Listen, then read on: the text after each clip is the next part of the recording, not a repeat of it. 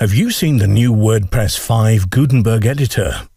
If so, then you probably felt like pulling out your hair. It's not as easy as the past WordPress editors, and it can seem overly confusing at first glance. However, they've managed to simplify things the best way they could. But don't worry, I'm here to help you. My name is Peter Twist, a broadcaster and internet marketer, and I actually know what I'm talking about here – you'll get a bird's eye view of how to use WordPress 5. This will give you a valuable insight as to what you should do.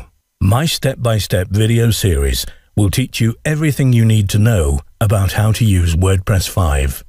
You're not going to have any questions whatsoever after watching the videos. You'll be able to update your blog and make the most out of this latest update.